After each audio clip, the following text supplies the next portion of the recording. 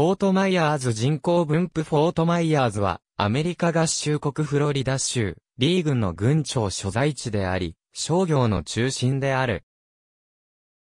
その人口は2000年国勢調査で48,208人だったが、2010年国勢調査では62,298人となり、29.23%増加した。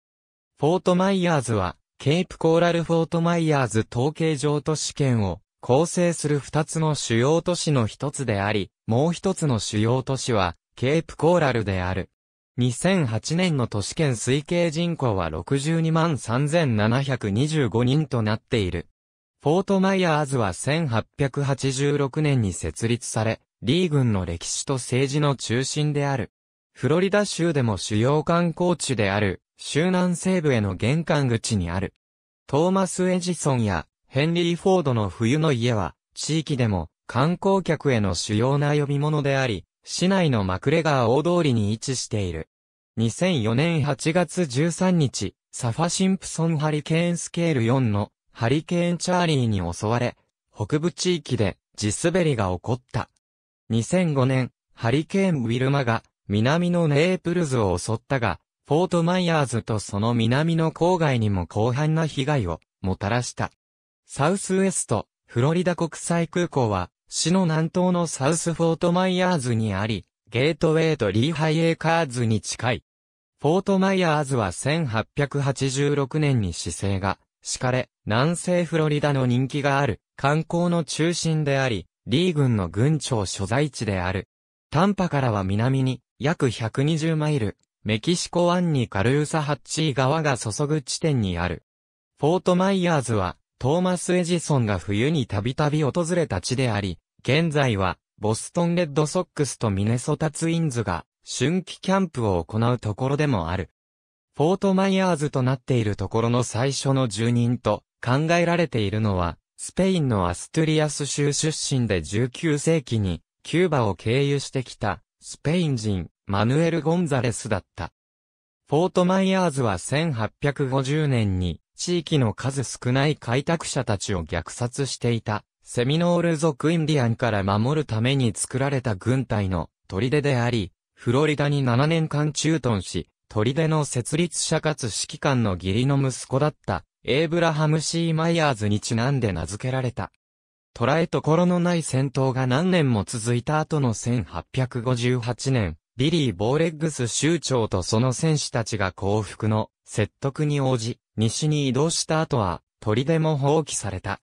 カルーサハッチー川に注ぎ、ボーリベージコンドミニアムズとアトラマーの間を流れるビリーズクリークは、ビリー・ボーレッグス酋長とその戦士たちが西に向かう、船を待つ前一時的に宿営したことにちなんで、名付けられた。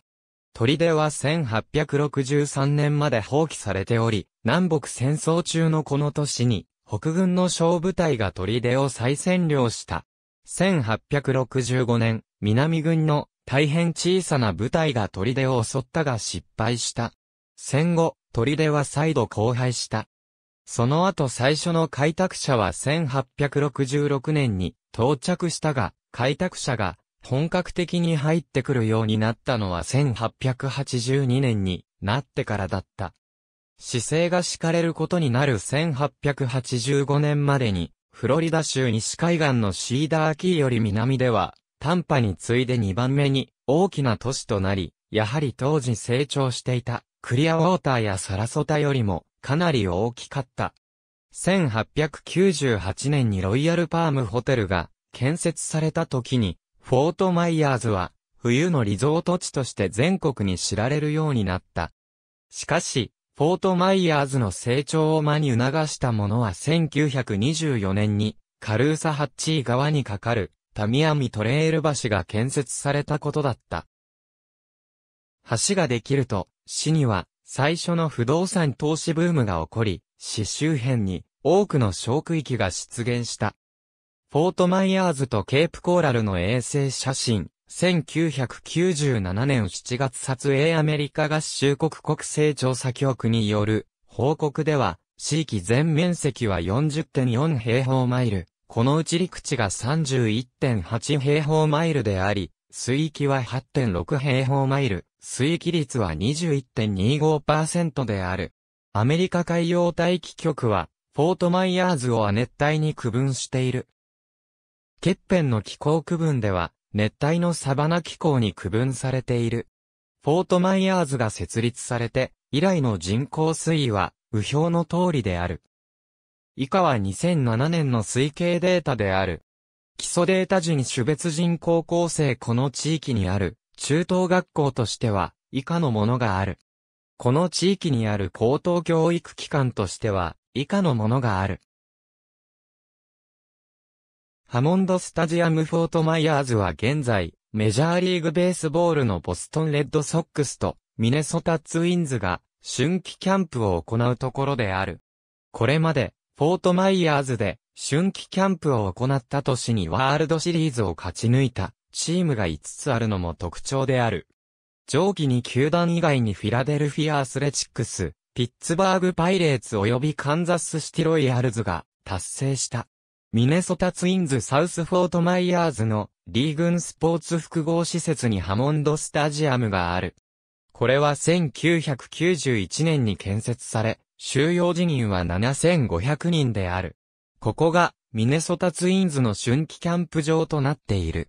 ツインズは、ハモンドスタジアムで、初めて春季キャンプを張った年にワールドシリーズを制した。リー郡との施設使用契約は2011年まである。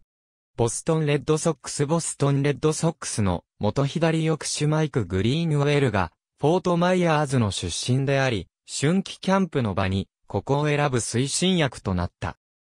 シティオブパームズパークは1992年に建設され、収容人員は8000人である。シティオブパームズパークで行われた最も記念すべき試合は2004年3月7日のものである。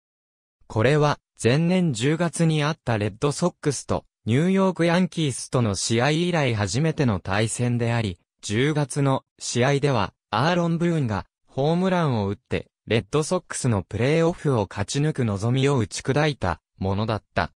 2004年の試合ではブーンに代わったアレックス・ロドリゲス三塁手が、ヤンキースにとってオフシーズンの注目を浴びた獲得選手だったが、7304人の観衆から激しいブーイングを受けた。施設の外部フェンスにあるレッドソックスのロゴレッドソックスとフォートマイヤーズとの使用契約は2019年まであるが、レッドソックスは2009年春季キャンプ後に契約を打ち切ることを検討している。レッドソックス最高執行役員のマイク・ディが2008年4月25日にサラソータの役人と会い、サラソータのエドスミススタジアムに移転する可能性を協議した。この施設はシンシナティレッズが春季キャンプに利用しており、レッズはアリゾナ州のグッドイヤーに拠点を移す計画があった。ボルチモアオリオールズとミルウォーキーブルワーズもサラソータの役人と会った。リー郡公園リクリエーション局長のジョニー・ヤーボローが、フォートマイヤーズにレッドソックスをつなぎ止めておくためのアイディアをブレーンストーミングで集めるために自分の時間を使っているフォートマイヤーズの建築家ジェフ・マジェットと会談した。ヤーボローは会談の後で、2012年までに、プロジェクトを組織したいと語った。レッドソックスの新しい春季キャンプ地について計画が示されたり場所の議論がされているわけではないが、チームの本拠地であるボストンのフェンウェイパークの小型版のような施設を持ちたいという夢があると語った。2012年に新しくフェンウェイパークのグリーンモンスターを模したレフトスタンドを要する新球場ジェットブルーパークが完成した。シティオブパームクラシックでは毎年フォートマイヤーズの高校バスケットボール選手権が開催されている。フロリダガルフコースト大学のスポーツチーム FG イーグルスは2007年に NCAA のディビジョン I への転換を始めた。2008年から2009年のシーズンで女子バスケットボールチームがアトランティックサンカンファランスで17対3の記録を残し、全体でも25対4だったが、現在ディビジョン2からの転換中なので、ディビジョン I2009 年のトーナメントには参加する資格がなかった。フロリダガルフコースト大学のスポーツチームは自分たちのキャンパスで試合をしている。アリーコアリーナのバスケットボール、スワンソンスタジアムの野球が挙げられる。